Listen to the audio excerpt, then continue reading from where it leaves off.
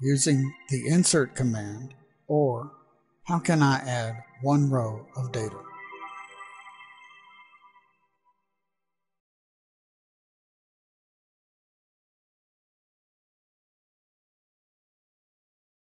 To insert a single row of data into a table, the column names must be specified or the field values must be in the exact same order as the columns are defined in the table. Here, we see a positional insert with no column names specified. And here, we see the insert command with both column names and values. Columns not specified in the insert must be created as null or not null with default. The values specified must be compatible with the respective column's data type or be convertible to that data type. Character and date-time data types must be enclosed by quotation marks. Numeric data and the keyword null must not be enclosed with quotation marks. A value of two single quotes with no space between the quotes also symbolizes a null.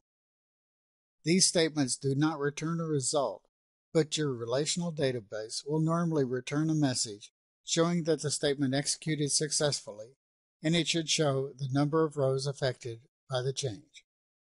An inserted value cannot violate a check constraint. See check constraint in a later presentation.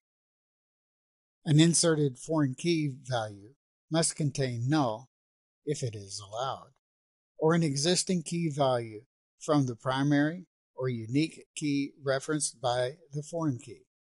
See primary keys and foreign keys in a later presentation. Now let's look at some examples.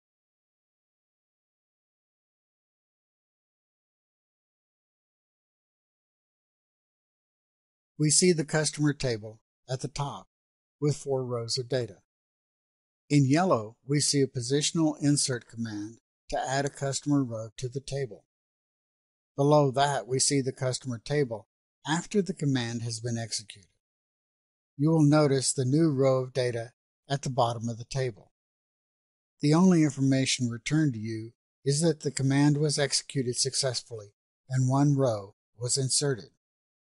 You should always use a named column insert so that the insert will always work correctly, even when someone has added columns, deleted columns, or change the order of the columns in the table. Now let's look at a named column insert example.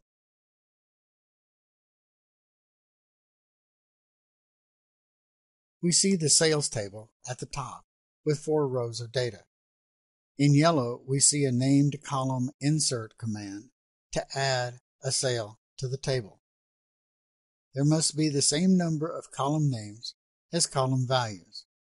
Value 1 goes into column 1, value 2 goes into column 2, and so forth. Below that, we see the sales table after the command has been executed. You will notice the new row of data at the bottom of the table. Again, the only information returned to you is that the command was executed successfully and one row was inserted.